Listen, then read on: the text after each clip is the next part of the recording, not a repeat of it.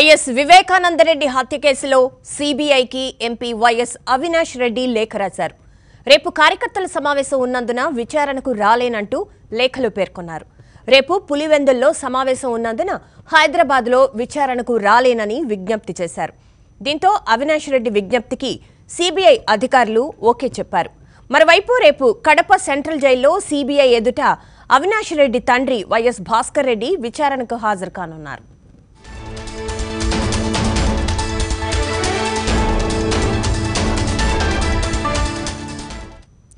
మరింత సమాచారం మా ప్రతినిధి రమణారెడ్డిని అడిగి తెలుసుకుందాం. రమణారెడ్డి చెప్పండి.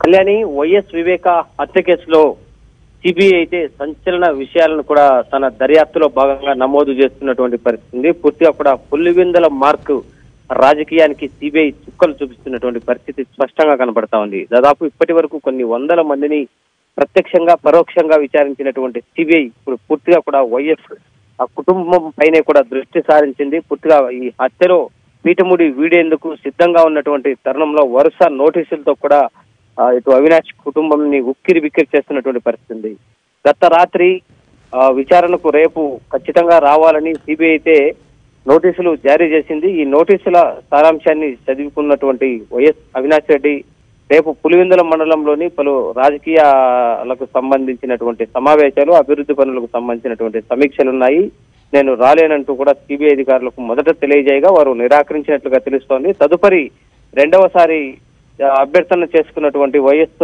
అవినాష్ రెడ్డి అభ్యర్థన అయితే సిబిఐ అంగీకరించినట్లుగా తెలుస్తా ఉంది. రేపు అవినాష్ హాజరు పైన మినహాయింపు కోరడం జరిగింది. ఈ మినహాయింపును సిబిఐ అంగీకరించినట్లుగా తెలుస్తోంది. ఇక రెండవది అవినాష్ తండ్రి భాస్కర్ రెడ్డి. రేపు ఖచ్చితంగా కడప కేంద్ర కారాగారంలో సిబిఐని సిబిఐ వైఎస్ భాస్కర్ రెడ్డిని విచారించనుంది. ఇటు చూసుకున్నట్లయితే ముఖ్యంగా వైఎస్ భాస్కర్ రెడ్డిని కడప సెంట్రల్ ప్రిజన్లో అలాగే అవినాష్ రెడ్డిని హైదరాబాద్ కార్యాలయంలో విచారిస్తే ఈ రెండింటి విచారణలో వారు పేర్కొన్నటువంటి అంశాల ఆధారంగా హత్య కేసుకు సంబంధించినటువంటి పూర్వాపరాలు రాబట్టాలనే సిబిఐ యోచనగా తెలుస్తా ఉంది. ఎందుకంటే ఇందులో ఒక న్యాయ సూత్రాలను కూడా అవినాష్ ఫాలో అవుతున్నాడు అన్నటువంటి సమాచారం కూడా ఉంది. ఎందుకంటే అట్ ఏ టైం ఇద్దరిని విచారిస్తే వీరు చెప్పేటువంటి సమాచారం ఏదైతే ఉందో సిబిఐ దాటిని రికార్డెడ్గా ఎంటర్ చేసుకునేటువంటి క్రమంలో కొంచెం గందరగోళం నెలకొంటుందన్నటువంటి ప్రధానమైన ఉద్దేశంతోనే ఇప్పుడు అవినాష్ రెడ్డి సిబిఐ విచారణకు సంబంధించి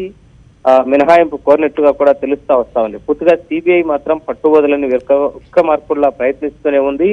తదుపరి రేపు సాయంత్రం మళ్ళీ తిరిగి అవినాష్కు నోటీసులు జారీ చేసేటువంటి అవకాశం చాలా స్పష్టంగా ఉంది. ఇదే నేపథ్యంలో వైఎస్ భాస్కర్ రెడ్డిని కూడా తదుపరి నోటీసు తిరిగి ఇచ్చి మళ్ళీ కూడా అతని విచారణకు పిలిపించేటువంటి క్రమం చాలా స్పష్టంగా కనపడతా ఉంది. ఏది ఏమైనప్పటికీ.